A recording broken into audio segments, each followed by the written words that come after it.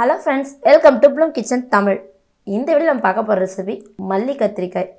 கத்திரிக்காயை வச்சு இப்படி வித்தியாசமான ஒரு ரெசிபியும் செய்ய முடியுமான்னு நீங்கள் ஃபீல் பண்ணுற அளவுக்கு அவ்வளோ டேஸ்ட்டாக இருக்கும்.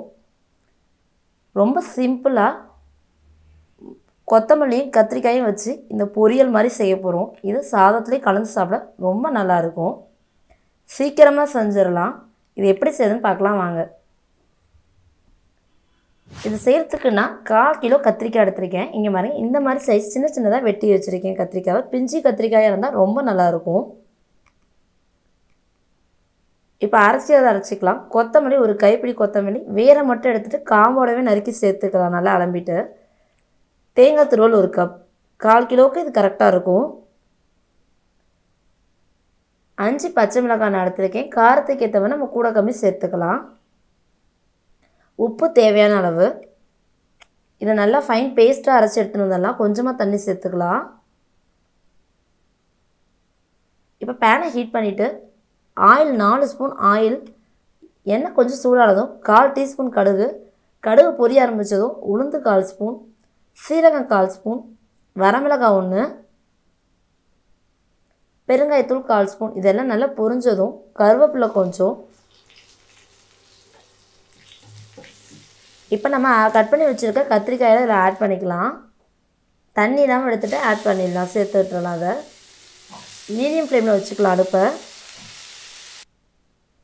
இப்போ லைட்டாக வதக்கிக்கலாம். லைட்டாக கலர் செஞ்ச அளவுக்கு வதங்கினா போதும். ரொம்ப வதக்க வேண்டாம். ஏன்னா பிஞ்சு கத்திரிக்காய்ன்றதுனால இப்போ நம்ம அரைச்சி வச்சுருக்க அந்த ஃபைன் பேஸ்ட்டை ஃபுல்லாகவே இதில் ஆட் பண்ணிடலாம். கத்திரிக்காய் வதங்கினாவே வெந்துடும் இதெல்லாம் சேர்ந்து வேகிறப்ப இன்னும் ரொம்ப நல்லா டேஸ்ட் கொடுக்கும். கொஞ்சமாக தண்ணி ஆட் பண்ணிக்கலாம் இப்போ. ஏன்னா கத்திரிக்காய் வேகும் போது நல்லா இந்த கொத்தமல்லியோட டேஸ்ட்டை ஃபுல்லாக அதை அப்சர்வ் பண்ணும். பாருங்க இந்த மாதிரி நல்லா வதக்கிட்டு ரெண்டு நிமிஷம் லைட்டாக கொதி வரும். வந்ததுக்கப்புறம் மூடி வச்சிடலாம். தண்ணியெல்லாம் ஃபுல்லாக ட்ரை ஆகி மசாலாவோடு சேர்ந்து கத்திரிக்காய் செமையாக ரெடி ஆயிரும். அப்பப்போ நடுவில் ஒரு ரெண்டு தடவை கிளறினா போதும். சீக்கிரமாகவே இந்த தண்ணியெல்லாம் சுண்டி வந்துடும் இங்கே பாருங்கள் நல்லா சுண்டி வந்துருச்சு. ஆல்மோஸ்ட் நம்மளோடது ரெடி ஆகிடுச்சு இப்போது இங்கே பாருங்கள் ஃபுல்லாக அடுப்பு ஆஃப் பண்ணிடலாம். இதை த ரச சாதத்துக்கு தயிர் சாதத்துக்கு தொட்டுக்க ரொம்ப நல்லாயிருக்கும். இதை வெறும் வே சாதத்துலேயும் கலந்து சாப்பிட அவ்வளோ சூப்பராக இருக்கும். ட்ரை பண்ணி பாருங்கள் கொத்தமல்லியில் ரிச் கால்சியம் இருக்குது கத்திரிக்காய் ரொம்ப உடம்புக்கு நல்லது நமக்கு.